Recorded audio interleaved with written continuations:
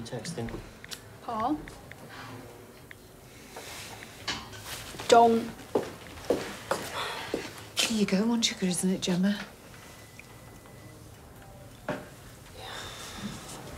Look, I think you should go. Look, I'm sorry about what I said. I, I, it was just, I was worried. It's no excuse.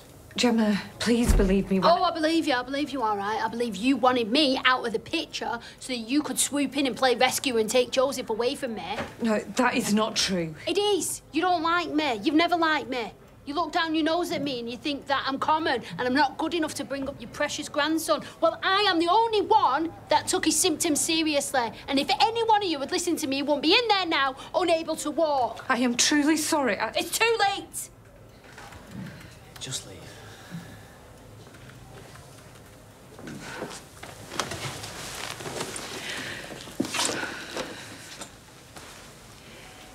Would you like me to pick up the quads? No. I want Billy and Paul to mind them.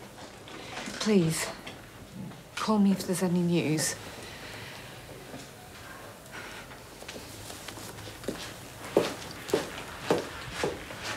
Can we go and see him now? He's still very drowsy, but yes, you can come and sit with him for a while.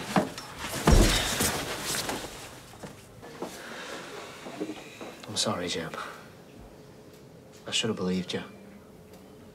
You made me think I was going mad. You made Joseph think I was going mad, and all the time he was really ill. I knew how anxious you were about Paul and how depressed you've been. Which is a perfectly normal reaction to the fact he's dying. I know. I thought maybe Joseph had picked up on how you were You feeling. and- thought that I was putting thoughts in his head, making him think that he was ill when he wasn't, but he was. And now he's lying here because you found it easier to believe that I was off my head or a bad man or both. I never thought you was a bad man. Just off my head. No. Wish my mum was here. She'd have stuck up for me. I've missed her. I know you have. And to go through all this with no support. You thinking that I'm bonkers and a liar. Please forgive me, Jem. I don't know if I can.